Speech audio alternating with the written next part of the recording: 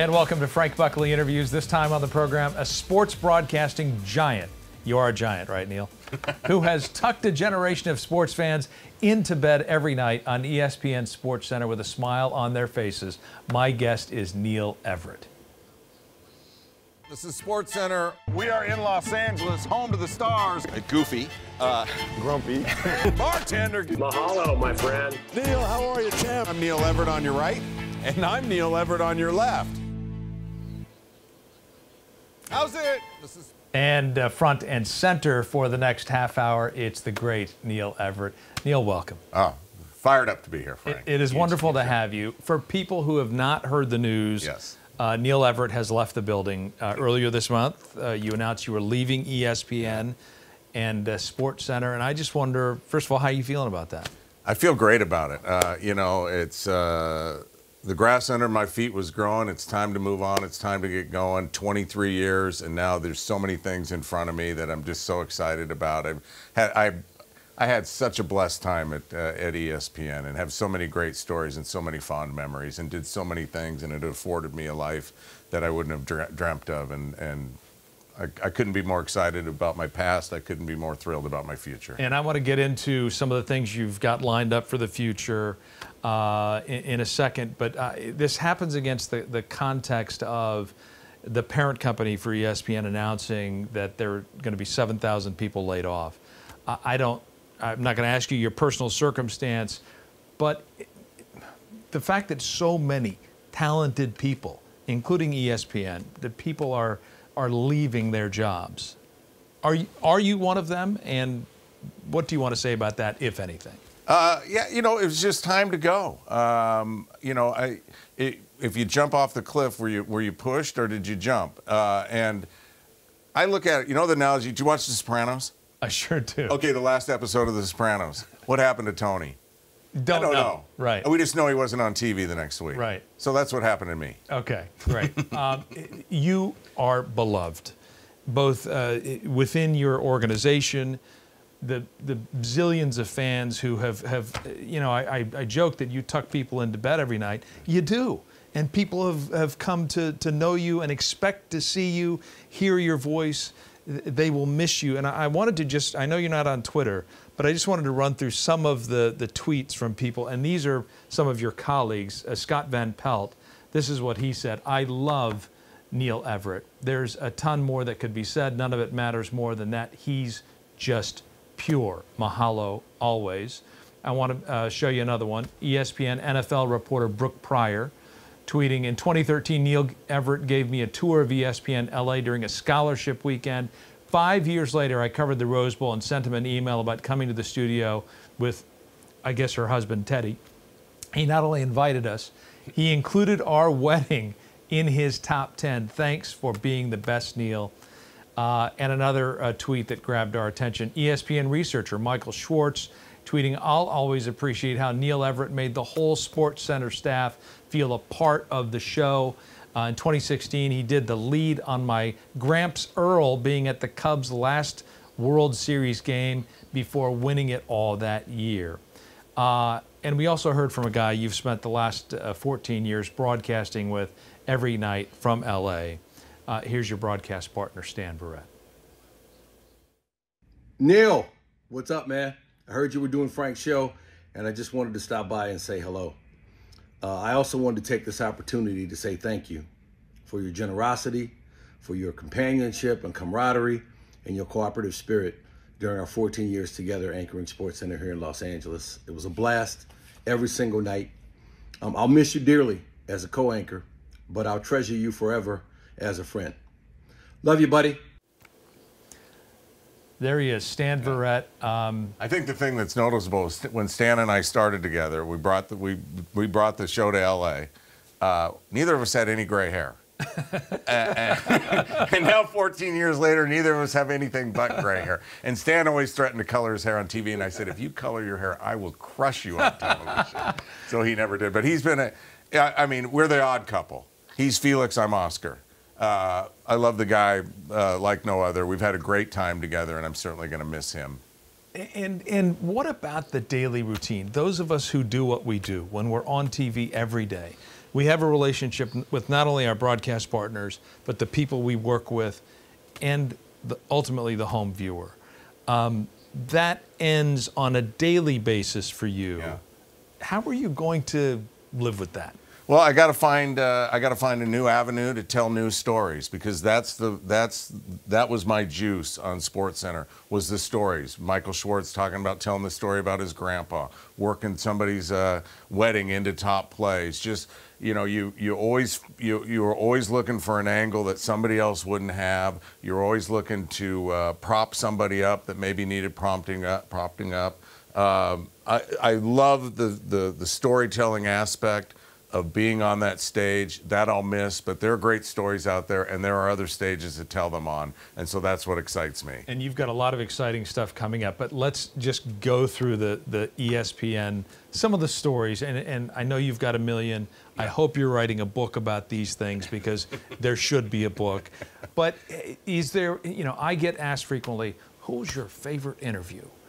And, and as you know, we've done thousands of them. For me, it's impossible, but there have to be a few that that that come to mind for you at least. Well, from celebrity standpoint, it was Michael Keaton because we had Michael Keaton on the show. Him and I talked for 49 minutes. You know, for what's going to be a three-minute segment on the show. Yeah. Eh, they ended up running 11 minutes of him broken down in, because he was so good. Yeah. For, so from a celebrity standpoint, that one is memorable. Along with Denzel, who when I when I introduced myself, he goes, "I know who you are. I watch you every night." And I had one of these little 16-year-old moments. like, Right. oh my God, Denzel knows who I am. I mean, and that's and you you grew up in Spokane, right? Yeah. Spokane, Washington, and to have to and and I talked to you about this. You were never thinking I'm going to conquer the sports world. I'm going to be the national and global celebrity that you become, and now you are. And when you think about that, and you think about that 16-year-old Yeah. kid. Is there a moment where that you've had a chance to reflect on that and to think, "Wow, look at where I have traveled to"? Yeah, you know, I, I I feel like I'm living eh, outside my body uh, when I see what I what I've been able to accomplish. You know, you, you talk about the interview. I think I did Coach John Wooden's last television interview. Wow. And so that, you know, that I mean, uh, you know, I sat in a hot tub with Bill Walton and become friends. So uh, these types of things, it's like, whoa, these happened to me. You know, the kid from Spokane. I wanted to be a veterinarian, and then I realized not all the animals lived, and I said, well, I can't do that because I'm too much of a softie. Right. Uh, so it's just uh, it's it's been a surreal experience, and and it will continue to be. And I've just you know I've kept a list at home of the people I've talked to, just so I could go like, oh, I remember when I talked to him, or you know uh, whomever it might be. You know. Yeah. Um, talk to us about how the, the the business has evolved and what you felt your mission was on Sports Center because I think we all get highlights, right? We watch the local Yeah. news and we get highlights. You guys did it differently. You did it di- differently in particular. I think your writing always stood out. Um, tell me why that is and, and what you felt your mission was every night. Well, I think my writing stood out. My mom was an English teacher, and I was raised by a basketball coach.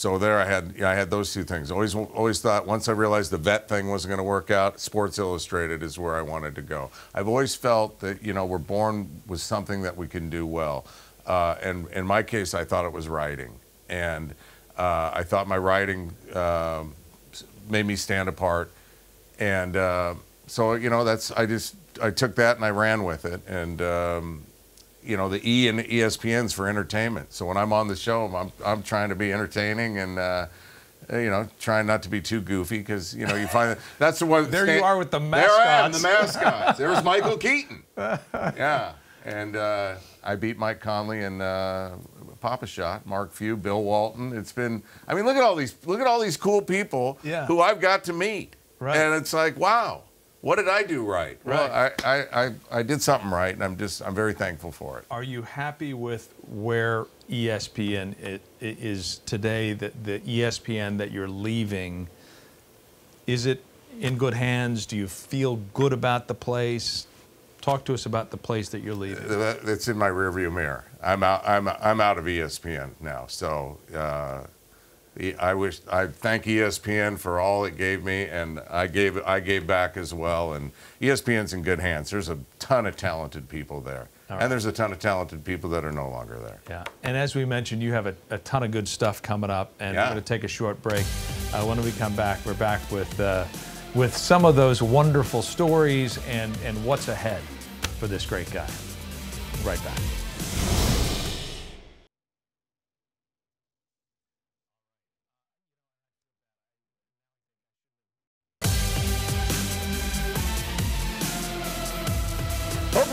Gone well, and would the real Indiana Pacers please stand up, or was it a case of the real Chicago Bulls showing up? It was game five, and it was payback time for the Bullies, who felt they gave game four away. Scottie Pippen crossover dribble all the way.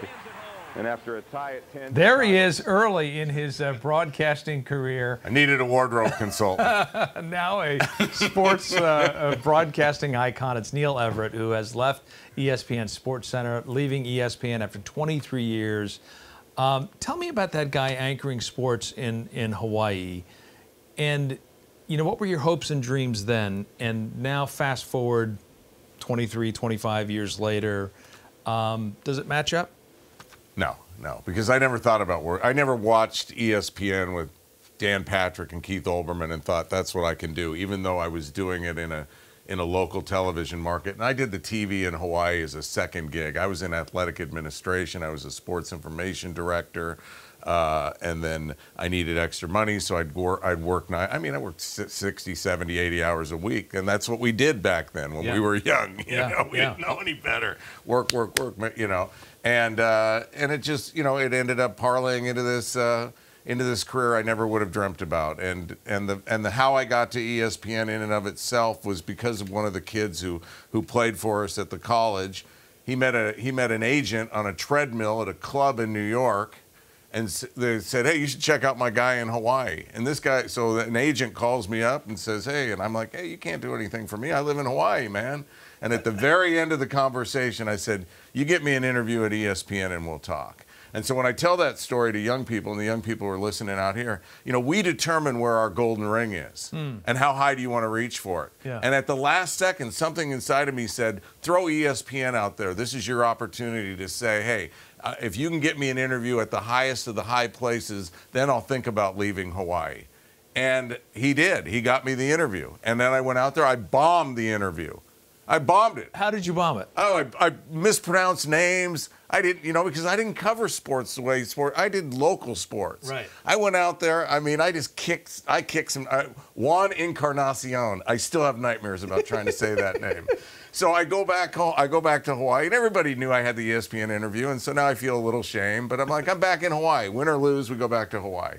a year later, the agent says they want to bring you back and again. So now I'm going over the box scores. I got Edwin Encarnacion. I got you down, and uh, and I go back there and I kill the interview, and I'm like, they're going to hire me before I walk out the door. I go back to Hawaii. It's a whole nother year. I don't hear from them here. Now I can't even watch Sports Center because anytime I look at Sports Center, it's like looking at an old girlfriend kissing somebody else. I'm just like, I, I can't wa- I can't watch this. I can't watch this. And so then it's a year later, the agent calls and goes, they want to hire you. Can you be here in two weeks? I said, I can be there in two months because we are leaving Hawaii. We're going out hard. And so, and that was 23 years later. Wow. Yeah. That is a great lesson, I think, for, for young people Yeah. in terms of just keep pushing, set the goal, and, and keep pushing to that. Yeah, there's nothing wrong with being here. It's, there's we got a problem if you're below that. Yeah. But how high do you want to go? And I really separated my shoulder, going ESPN, Right. basically thinking I'll never hear from this guy again. Yeah. Um, and and you did these other things. You you weren't thinking. uh, You, you graduate from the University of Oregon. I am going to conquer the sports world. Why Hawaii? Was there something about Hawaii that drew you? I'd been to Hawaii in 1982. I went to a small college for two years before I went to Oregon called Willamette University in Salem. We had a huge Polynesian presence there because our football coach was Polynesian, Tommy Lee. And, uh, and so in the fraternity, one of the frat brothers I had was a Hawaii guy. He says, Hey, you want to come to my house for a month in the summer? I asked my mom. My mom said, Yeah, go. I got there. I'm like, I couldn't have found Hawaii on a map back then. I'm 20 years old. I'm like, why doesn't everybody live here? I mean, are you kidding me? So then I went back. I, I went to Oregon. I graduated, worked, worked a year in local uh, radio, and then a gig opened up on Maui. I flew there, did that. Gig opened up on Oahu. I was there, did that for. I was in Hawaii for 15 years, did the TV thing, and then the whole ESPN thing took over. And I get to ESPN, Frank. I'm there a month, and I'm like, oh, this is not for me.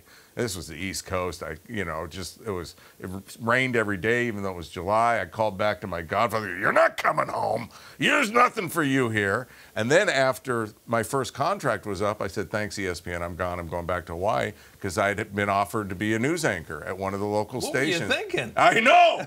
I well, fortunately, I got my head together, and I'm like, dude, this may this may not be the right career move for you. you may want to sit through one more contract at ESPN. Right. And you know, so I'm Wow. glad I didn't make that move. There was no bad decision to be made there because I was going to go back to Hawaii, but the better decision was to stay at ESPN, Right. and I'm glad I did. And now you're going back to Oregon. Well, I'm going to go back. I'm going to continue to work for the Trailblazers. Yeah. I've done that for the last two years. My wife and I have a home on the Oregon coast, and we, we have a relationship with the Trailblazers. Now I've got more time, so there's a. Uh, I, I did 20, 25 games the last two years, so I've talked to the Blazers about doing more, and they seem to be uh, thinking that might be a good thing. Oh, there's old Nurk. He, Right. he blew his leg out, right? Broke his leg like three games after that. Only guy to show up, and he brought me that sweater. I said, "You're the only guy ever to bring me a gift," and I still have that that, that, that hoodie. Nice. Yeah. And you also have this uh, relationship with the University of Oregon, your Yes. your alma mater. Yeah. And we we found out how what a great dancer you I are. I am a fantastic dancer, not just we- a good, great we- dancer. We have Fan- this video of you dancing, which is uh, fantastic. Um, I don't. Do we we ought to show it? Uh, let, let's show this amazing dancer.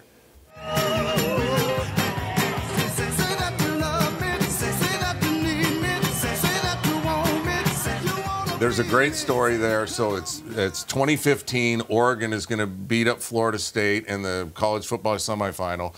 Alabama and Ohio State are playing in New Orleans. So all these, all everybody who's on Oregon is here for the game, except me. I'm at the Alabama Ohio State game because I'm working for the Heisman House, which is a story in of itself. I met, I've worked with 45 of the 60 living Heisman Amazing. You, you tour with them, right? yeah, I tour. Yeah. tour the country with them. My wife and me, and we just have a great time. So anyhow, so th- they say, "Hey, Neil, we need you in this shoot." And I said, "Well, I'm in New Orleans." They said, "Well, you got to get back here." So I tell my wife, "Hey, we got," and it's New Year's Eve. I said, "We got to get up at 4 a.m. We got to get on at 6 a.m. I got to get back there to go to this shoot."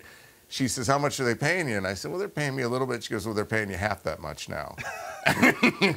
and I said, "Oh, that is how it works in California." So, boom. So uh, we took care of her. Then I went out. I did the shoot, and I get out there and I'm dancing, and I'm sweating, and I'm sweating. You know, I'm sweating New Orleans, and you know, we'd gone hard in New Orleans, and I boom, boom, and I, and I think then we're done, and they go. All right, let's do another take. They did 14 takes. By the end of the thing, I was like, uh, uh, I couldn't, I couldn't move in a puddle of sweat. But it was good fun, and they play that thing, you know, at the uh, at, at the football games, at the basketball games, and any time that my wife and I are there, we just look at each other and smile. We know this story. It's a great, uh, a great source of pride for me to be involved, not only in that, but j- just with the University of Oregon as a whole. And you are a Hall of Famer at the University of Oregon. I am. I am. And is- and you went to USC, so see what we're showing here is that Ducks and Trojans can get along. Yes, and wouldn't the can. world be a better place if we all just could do this?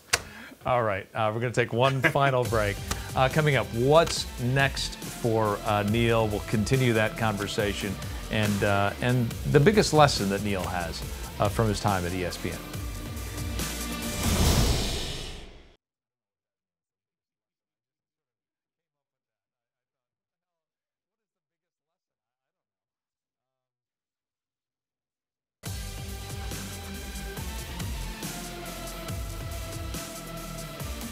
We are back with the Emmy Award winning sportscaster Neil Everett, who will no longer be seen on SportsCenter after 23 years um, with the network. You've got so much going on. We talked about uh, University of Oregon, the Portland Trailblazers. You have a, a, a golf thing, I too. got a relationship with Cobra. I'm great on little putt putt golf, the regular golf course. I'm still getting it down, but they've been great to me. We did a commercial uh, that was really, really wonderful and well received. So I, I'm look forward to that relationship. I'm involved in a nonprofit I helped found called Heroes Movement. We we purchase gym memberships for veterans across the United States so they can continue to have the teamwork and camaraderie and and work a, a, a program that we uh, that the founder Mike McKay has set out. He's a Navy veteran, and I don't think he can do enough for the veterans. You know, I've got my I've got nieces and nephews that are at that age where you really want to get involved. I mentioned earlier, my wife and I have a a, a house on the Oregon coast that we want to spend more time with, and uh, plus, man, there's just there's there's so many stories to Yes. tell, Frank. It's Yeah. all it like like you do. So you know that's uh, it's it's an exciting time. It's hard to sort of summarize your entire career at a place. I'm giving you a minute to do it. But is there something that you will take with you um, through this experience that, that, you know, when people see you on the street, when they run into you in Portland uh, or here in LA, um, what should they know about what you've taken from this experience? Well, I just think you you know never get too big for your britches. Uh, you know, I I never thought of myself as the star of the show. I'm just a member of the team, and I think that's very really important that you're a member of a team. And and we've got the guy, we got the camera, we got the people in the the people in the back room. They're super talented in television. You know, you and and you know you've got a great team here. I you can tell by watching your KTLA show. Uh, We have a great team at ESPN. You can tell by the the highlights that are produced. It's the worldwide leader. You know, and and and the the people, and it's just you've got to be compassionate and kind. Uh, because that's who you should be. Yeah. And that and that's how I was raised. And so that's my mom inside of me bringing out the best in me and and my wife furthering that along. So I, I that's that's what uh, when people meet me I hope they go, "Wow, he was a nice guy" because Yeah. I am a nice guy. Yeah, and it's true, and I think that it happens to be true, and and that does come through. Yeah. Neil, I, I thank you for. I think we could do an hour. I wish we could, Neil, but we'll we'll continue on the audio podcast. Thank you, my friend. My uh, pleasure. For all these years of outstanding uh, uh, sports anchoring on ESPN. Thank you for watching. I I hope you'll listen to us on the audio podcast. It drops on Wednesdays. We'll see you next time.